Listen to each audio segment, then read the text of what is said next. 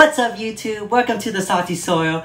My name is Damon and today is the start of my reefing journey. I'm going to be setting up a 38 gallon Peninsula tank that I got from Fiji Cube and we just got in our first bulk reef supply order. So let's go!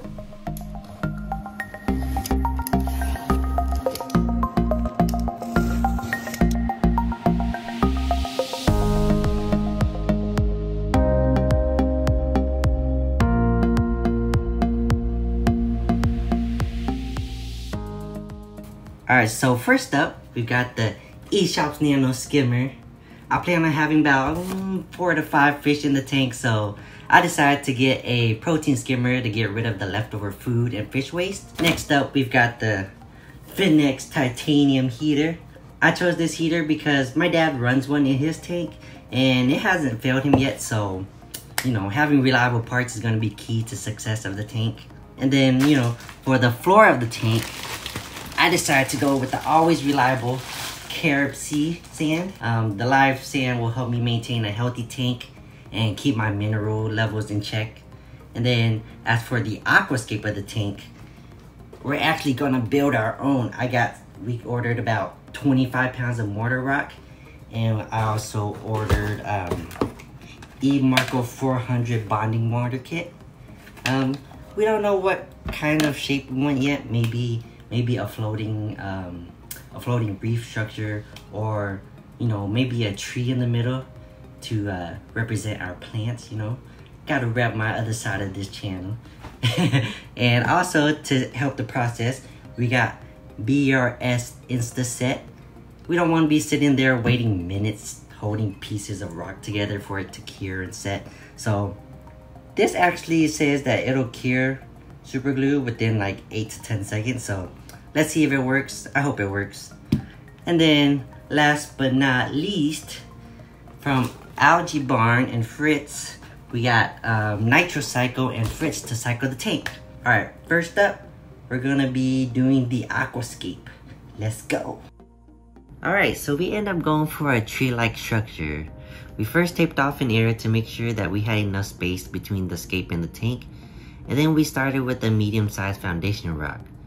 After that, we glued some smaller pieces of Marco rock to create the tree, and bruh, Instaset really does work. We noticed that super glue would cure as soon as we sprayed it, and I can't really imagine creating this aquascape without bulk reef supplies Instaset. It really is a game changer. Two hours later.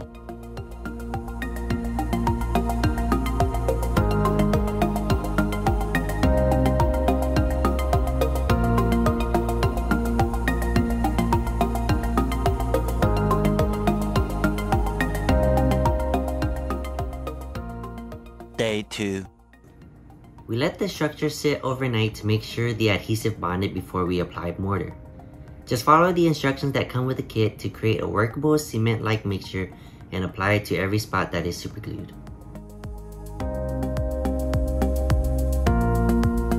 The next morning We had a hard time finding a stand for under 100 that could hold a 38 gallon peninsula, but luckily we came across the Imagitarium Brooklyn metal tank stand from Petco. It's meant for a 40 gallon breeder, but it checked off all the boxes we were looking for. It was under budget, looked modern, and had spots that allowed me to add custom shelves to display plants.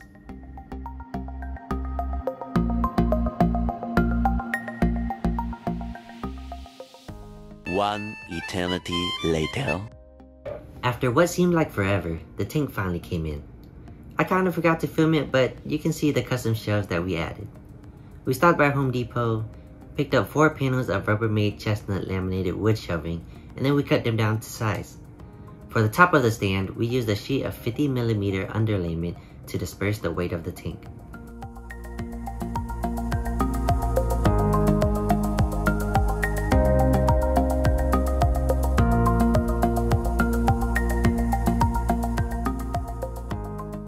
Now it was time to make some salt water. We made around 35 gallons with a salinity of 1.026. While we waited for the salt water, we made the final touches to the aquascape and then filled it up with live sand. As you can see, we're making pretty good use of our household products. We spread out the sand using kitchen spatulas and displaced the water using a colander.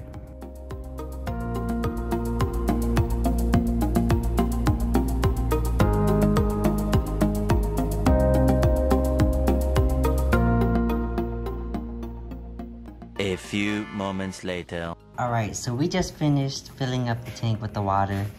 The temperature is almost up to 82, it's about 81.6.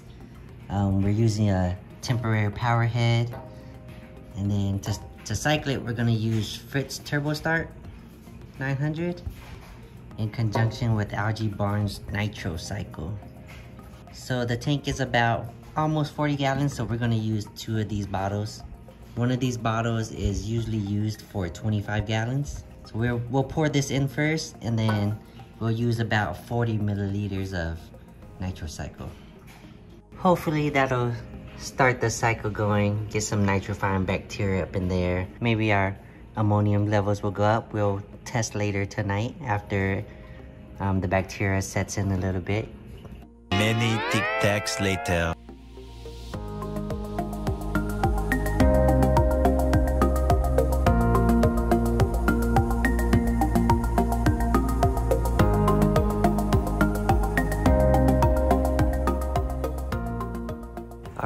So it's been a couple days now, almost a week.